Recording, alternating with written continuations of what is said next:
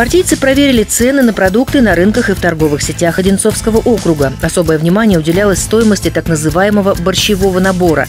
Напомним, что недавно в приемной партии во многих регионах страны стали поступать жалобы на рост цен на морковь, картофель, свеклу, лук и капусту. В ходе мониторинга единороссы убедились, что цены везде примерно одинаковые. Член политсовета местного отделения партии Алексей Проскурин отметил, что никаких вопиющих высоких цен, о которых пишут в соцсетях, проверяющие не увидели.